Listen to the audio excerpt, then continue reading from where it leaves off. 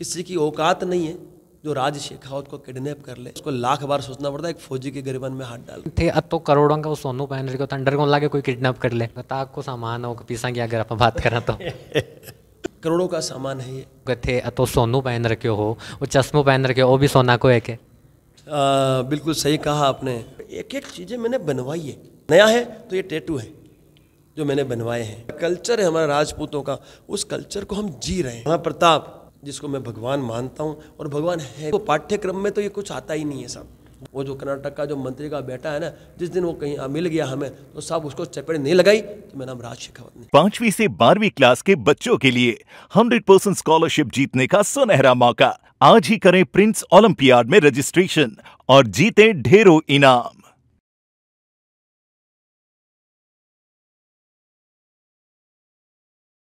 राम राम साहब, मैं मुकेश कुमार थे, देख रहे हो जल को अपना देश का युवा जान वो चाहे थे तो सोनू पहन रखे हो, वो चश्मो पहन रखे हो, वो भी सोना को एक है के बिल्कुल सही कहा आपने ये जो सोना पहना है, ये जो साफ़ा है, ये जो मेरे वस्त्र हैं सफ़ेद, ये मेरी जो जूतियाँ हैं, ये मेरे कान की बालियाँ हैं उसके अलावा मेरी मूछें हैं, दाढ़ी हैं, सब ये आप इतिहास उठा के देखना। ये कल्चर है, मेरी संस्कृति है, इसमें कुछ भी नया नहीं है।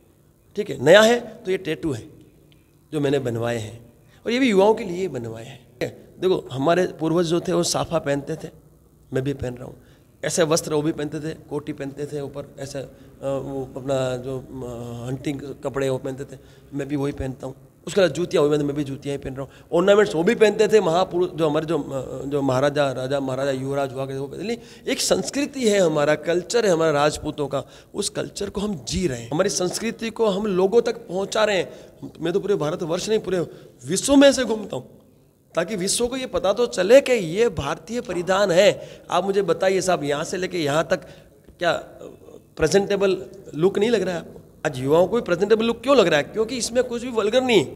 वेस्टर्न कल्चर तो नहीं है, जहाँ पे इतने इतने कपड़े पहन के बच्चियाँ या महिलाएँ घूमती है, युवाएँ घूमते हैं, वो तो नहीं है ना। ये वो कल्चर है कि आपको पैर से लेके सर तक सब ढका हुआ मिल रहा है। मेरे अपना एक एक, मेरा एक अटायर है, मेरा एक कल्चर है, मेरी एक संस्कृति है, मैं उसको जी रहा हूँ। और हाँ जहाँ तक कहा ये जो टेटू बने हैं सब, ये ये भारत, अपना अशोक स्तंभ है, ठीक है। यहाँ पे आपका तिरंगा है, यहाँ पे महाप्रताप जिसको मैं भगवान मानता हूँ और भगवान है ठीक है, उसके अलावा यहाँ शहीद भगत सिंह। यानी मैं युवाओं को ये कहना चाहता हूँ कि सही मायने में राष्ट्र ही सर्वोपरि है और राष्ट्र की रक्षा के लिए जिन्होंने बलिदान दिए, उनसे बड़ा भगवान हो ही नहीं सकता। इसलिए मैं युवाओं को जागृत कर रहा हूँ, युवाओं को दिखा रहा हूँ कि ये है, ताकि वो इसके बारे में जाने, क्योंकि देखो, पाठ्यक्रम में तो ये कुछ आता ही नहीं है सब। जो आना चाहिए मुगलों को पढ़ाया जा रहा है जो भी जो भी जो भी पाठ्यक्रम है। तो कहीं ना कहीं युवा इसके माध्यम से गूगल पे सर्च तो करेंगे कि राजदादा ने यदि ये छापा है तो क्या है? तो कुछ सीखेंगे जितने लोग सीख सकें वो मेरी उपलब्धि है। और युवा आजकल टेटू बनाते हैं कुछ भी बना लेते हैं। तो मैं उनसे ये मैसेज देना चाहता हूँ जब आप टेटू भी बनाते हैं तो कुछ ऐसा टेटू बनाए जिससे कुछ कुछ है ना कुछ आ, मतलब सार्थक हो। राजस्थान का जितना भी युवा है बेथाने ई वेश ज़्यादा पहचान रहे हैं। वो एक मेरी पहचान बन गई है। लेकिन जब मैंने ये शुरुआत की थी, मैंने शुरुआत साफे से की थी। मैं आपको बताऊँ, सब मैं गुजरात में जाता रहता था, राजस्थान कम आता था। जब राजस्थान में शादी ब्याह में आया तो वहाँ मैंने युवाओं के चेहरे जो शादी में ये मैंने साफा देखा तो युवा बिल्कुल यूँ रॉयल, रॉयलनेस लग रहा था। तो मैंने फिर इतिहास पढ़ा। फिर मैं, मैंने इतिहास में मैंने राजा महाराजाओं को देखा, युवा, युवराजों को देखा। मैंने देखा, यार, ये तो कितना अच्छा अटायर है उनका, कितना अच्छा पहनावा है।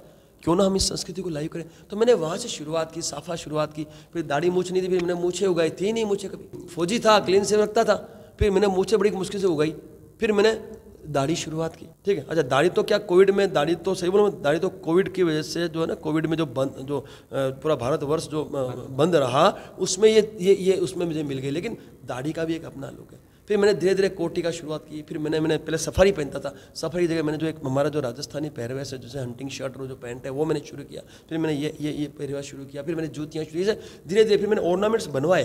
मैंने इतिहास के आधार पर मैंने जो है ना जो उधर से निकाला इतिहास से निकाले और एक एक चीज़ें मैंने बनवाई है। ये चाहे जितनी भी रिंग्स है सब ये सारी मैंने करीबन मुझे सब बनवाने में ये प्रोग्राम करीब दो साल लगे हैं सब। तो को सामान हो पीसा की अगर आप बात करें तो। करोड़ों का सामान है ये।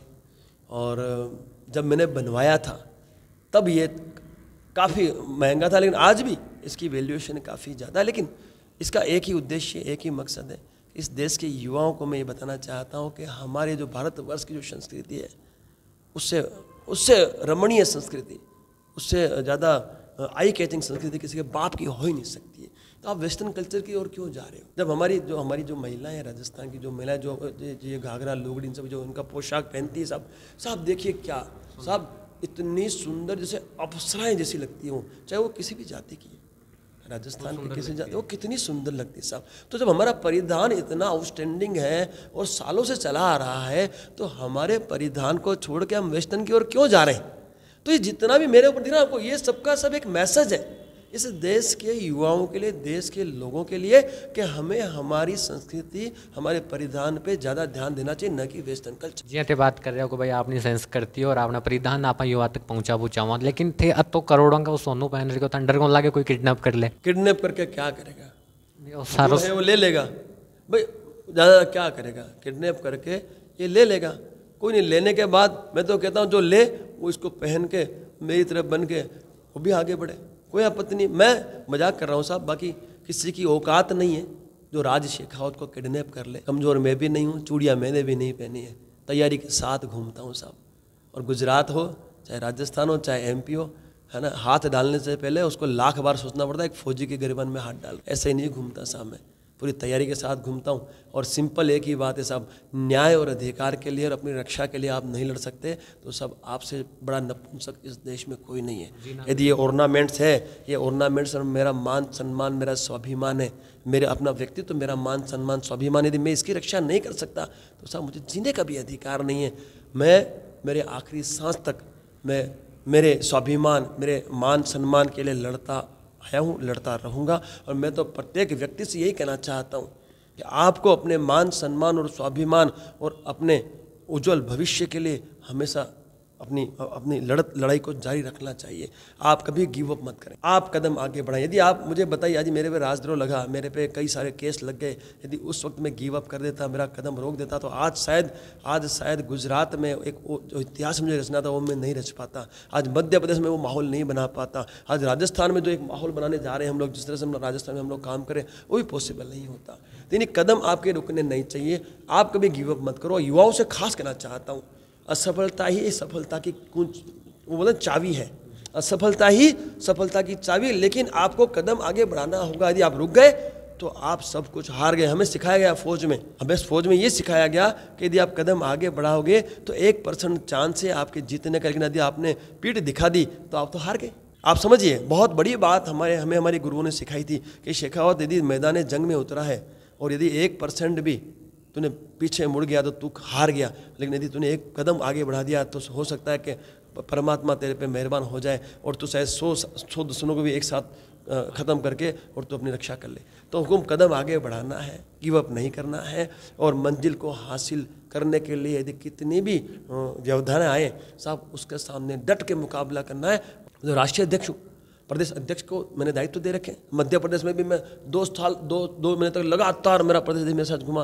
अभी राजस्थान में संदीप सिंह चैनपुरा, वो मेरे साथ घूम रहा है। गाँव गाँव जिला अध्यक्ष मेरे साथ घूम रहा है। उनके पदाधिकारी घूम रहे सब कैसे पॉसिबल है? यदि मैं गिव अप कर दूँ तो ये पॉसिबल हो सकता है। मुझे पता है लक्ष्य मुझे हासिल करना है। उसके लिए मैं मीडिया का भी सहारा ले रहा हूँ। क्योंकि मीडिया शक्ति है। मीडिया एक ऐसी, ऐसा स्तंभ है जो बहुत ही कम समय में युद्ध स्तर पर जो जो हमारे विचार हैं, वो लोगों तक पहुँचा सकती है। तो रोज़ पीसी करते हैं हम लोग।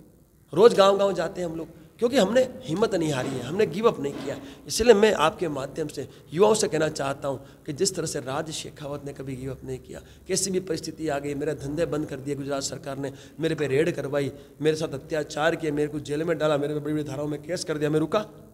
मैंने यात्राएँ रोकी नहीं सब। जेल से निकल के फिर मैं निकल पड़ा यात्रा के लिए। सरकारें लास्ट में हाथ जोड़ के बैठ गए कि साहब इसको छोड़ो, इसको छोड़ दो। ये आदमी पागल है। हाँ मैं पागल हूँ। मैं मेरे देश के युवाओं के उज्जवल भविष्य के लिए पागल हूँ। हाँ मैं पागल हूँ इस देश को की रक्षा के लिए, इस राष्ट्र के रक्षा के लिए, इस राष्ट्र के भविष्य के लिए पागल हूँ। हाँ मैं पागल हूँ। मेरे समाज को सत्ता में स्थापित करने के लिए पागल हूँ। जो पागल होता है ना साहब, वही लक्ष्य हासिल कर पाता है। सनातन धर्म को कोई बदनाम करने की बात करेगा, ख़त्म करने की बात करेगा साहब, उसके घर में घुस जाऊँगा और मैं उसको मुक्के से जवाब दूँगा। मेरी करनी से ना उसको जवाब देगी। साहब, गुजरात में जब हमारे आचार्य धीरेन्द्र शास्त्री जी महाराज जब दिव्य दरबार लगाने के लिए आए तो कुछ लोगों ने उनका विरोध किया। सब घर में घुस के उन लोगों का इलाज हमने किया सब। हम लोग सीधी सीधी बात करें अभी मैंने सुना कर्नाटक के किसी मंत्री के बेटे ने बोला कि सनातन धर्म खत्म कर देगा, ऐसा वर्ड उसने यूज़ किया। उसके बाप की ताकत करके दिखा, गुम हो जाएगा। ठीक है, सनातन धर्म था, है और रहेगा। सनातन धर्म इस देश का वो एक एक एक एक वो धर्म है जिस धर्म को हम जीते हैं। तो जिसको जिसको बोलने से कोई कुछ नहीं होता हम करके दिखाएँगे और जिस दिन वो भड़वा आ गया को ठोकने की भी ताकत हमारी है। वो जो कर्नाटक का जो मंत्री का बेटा है ना जिस दिन वो कहीं आ, मिल गया हमें तो साहब उसको चपेट नहीं लगाई तो मेरा नाम राज शेखावत नहीं और मैं तो करनी सैनिकों से भी कहता हूँ जहाँ वो मिले उसको कूट लेना। जो होगी देखी जाएगी। गठन ना चलावा की खातर पैसा चाहिए। तो आप कहने पैसा आवे खटो क्योंकि खर्चो तो लग गए घर बनावा तो भी लग गया गाड़ी चलावा तो भी तेल का लग गया। तो आप इस संगठन ने चलावा की खातर वित्तीय पावर खटो लिया ऐसा है सर?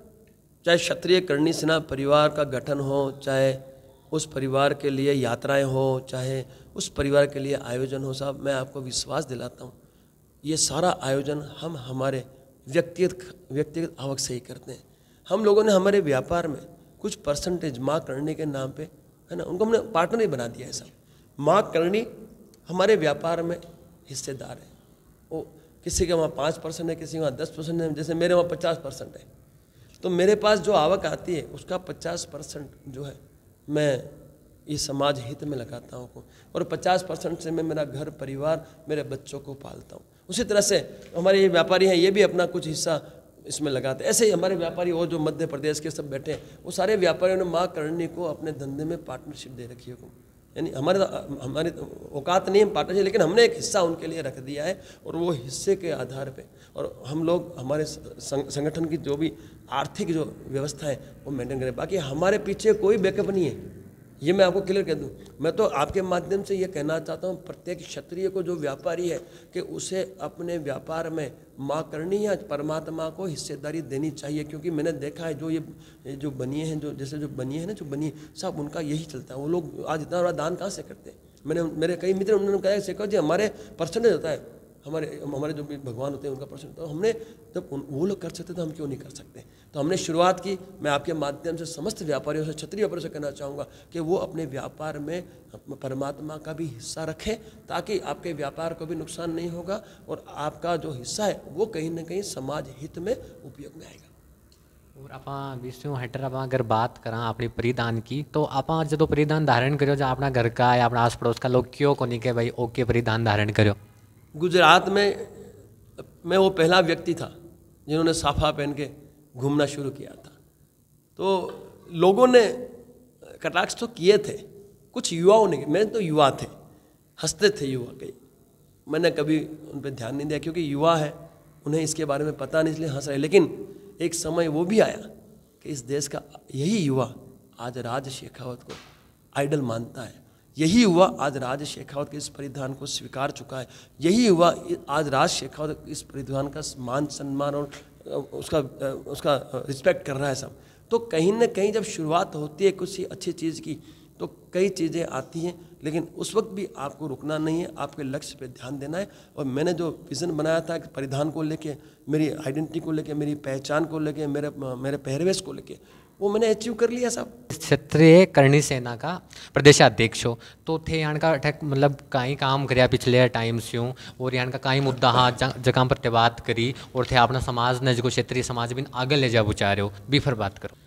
मैंने 2015 के अंदर सामाजिक जीवन की शुरुआत की। मेरा बिज़नेस है गुजरात के अंदर। बाकी 2015 से मैं राजगढ़ तहसील चूरू ज़िले में पड़ती है वहाँ से उपाध्यक्ष बना। और मात्र 20 दिन में ऐसे प्रकरण हुए थे उस समय कि जैसे राजेंद्र जी गुड्डा की गिरफ्तारी का मामला हुआ था, सुखदेव सिंह जी गोगामेड़ी जो थे हमारे राष्ट्रीय राजपूत करणी सेना के राष्ट्रीय अध्यक्ष, उसी टीम में मैं था, उनकी सुरक्षा का मामला था। तो जैसे धरना प्रदर्शन वगैरह चले, यहाँ पे गुढ़ा में भी बहुत, उदयपुर वाटी में बहुत बड़ी सभा हुई थी, वहाँ पे भी मैं कम से कम एक तहसील उपाध्यक्ष होते हुए 20 से 25 गाड़ी लेके आया था। वहाँ पर समाज के लिए जहाँ भी ज़रूरत पड़ी, लगातार दिखा संगठन को तहसील अध्यक्ष की ज़िम्मेदारी दी, उसके बाद जिला अध्यक्ष रहा मैं, चूरू जिला अध्यक्ष रहते हुए मैंने चूरू ज़िले में, राजपूत समाज ही नहीं, किसी भी समाज के साथ कहीं भी अन्याय, अत्याचार हुआ तो हमारी जो टीम थी, वो पूरी टीम ने, चाहे थाने का घेराव हो चाहे कलेक्टरी प्रदर्शन वगैरह हो, बहुत से आज से तीन साल पहले ये चीज़ें मैं वहाँ पे की मैंने। उसके बाद प्रदेश उपाध्यक्ष था फिर उस समय जिस तरीके से राजस्थान में पिछले 2018 के जो चुनाव थे, उससे पहले जिस तरीके से प्रकरण चले थे, राजस्थान का आनंदपाल जी प्रकरण हो, उसके अलावा चतुर सिंह हत्याकांड जैसलमेर में हुआ, राजस्थान में हमने विधानसभा का घेराव भी किया। इस तरीके के तमाम जो मुद्दे थे राजस्थान के, उन मुद्दों में कहीं ना कहीं जो इतनी भीड़ आती थी, उसमें कहीं ना कहीं छोटा मोटा अंश समाज का मैं भी वहाँ उपस्थित था। इस प्रकार का और वीडियो देख भाई खातर चैनल सब्सक्राइब कर दो शुक्रिया, मिलते हैं अगले वीडियो में।